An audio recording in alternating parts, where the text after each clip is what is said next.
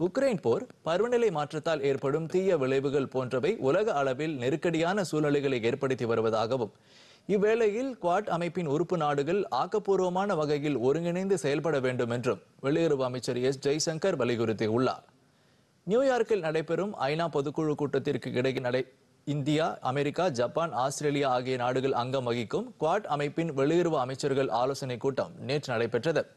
இக்கூட்டத்தின் போது மனிதாபிமான உதவிகள் மற்றும் பேரிடர் நிவாரணம் ஆகிய துறைகளில் பரஸ்பரம் ஒத்துழைப்பதற்கான உடன்படிக்கை கையெழுத்தானது இந்நிகழ்ச்சியில் பேசிய அமைச்சர் ஜெய்சங்கர் குவாட் உறுப்பு நாடுகளுக்கு இடையே பொருளாதார ஒத்துழைப்பு கடல்சார் நடவடிக்கைகளில் கூட்டுறவு போன்ற பல்வேறு அம்சங்கள் தொடர்பாக முக்கிய பேச்சுக்கள் நடைபெற்று வருவதை வரவேற்றார் events and emergencies, probably on an unprecedented scale.